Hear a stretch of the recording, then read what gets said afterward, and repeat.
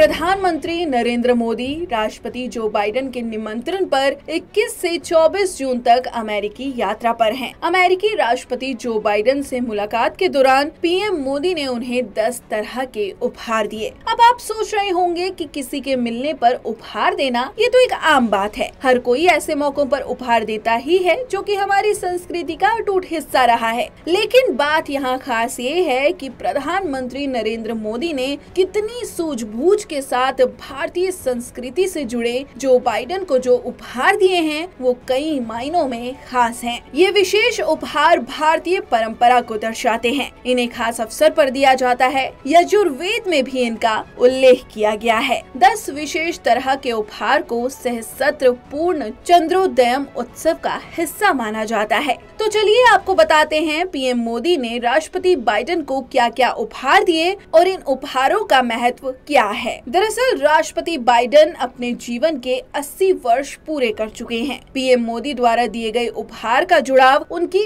उम्र से है। यजुर्वेद में कहा गया है कि जब कोई व्यक्ति 80 वर्ष और 8 माह की उम्र पूरी कर लेता है तो वो दृष्ट सहस्त्र चंद्र कहलाता है। यानी ऐसा व्यक्ति जिसने हज़ार पूर्ण चंद्रमा देखे हों। सहस्त्र पूर्ण चंद्रोदयम उत्सव के दौरान भारत में 10 दानम, यानी 10 अलग अलग तरह की चीज़ें दान की परंपरा है। इसमें कई चीज़ें शामिल हैं, जैसे कि हिरण्य दान, यानी सोना आज्ञा दान यानी घी, रौप्य दान, यानी चांदी।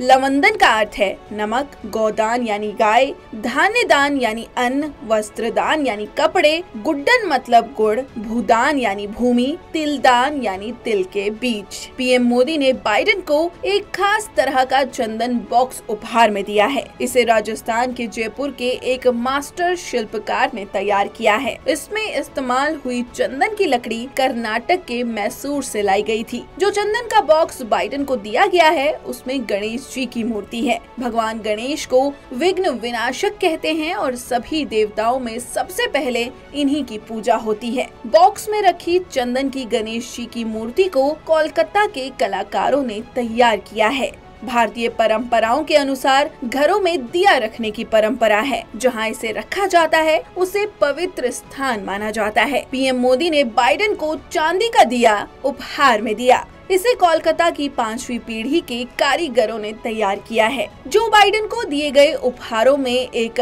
हस्त निर्मित चांदी का नारियल भी दिया गया है, जिसे गाय के स्थान पर देने की परंपरा रही है। इसे पश्चिम बंगाल के कारीगरों ने तैयार किया है। इसके अलावा भूमि के दान के तौर पर मैसूर के चंदन का टुकड़ा दिया है। तिल दान के लिए तमिलनाडु से मंगाए गए सफ़ेद तिल के बीच भेंट किए गए हैं। उपहार में राजस्थान के कारीगरों द्वारा तैयार किया गया 24 कैरेट शुद्ध सोने का सिक्का दिया गया है, जिसे हिरण्य दान कहते हैं। इसके साथ ही पंजाब का घी पेश किया गया, जिसे आज्ञा दान के नाम से जानते हैं। इसके साथ ही दृष्ट सहस्त्र चंद्र के तहत महाराष्ट्र का गुड़, गुजरात का नमक भी दिया गया।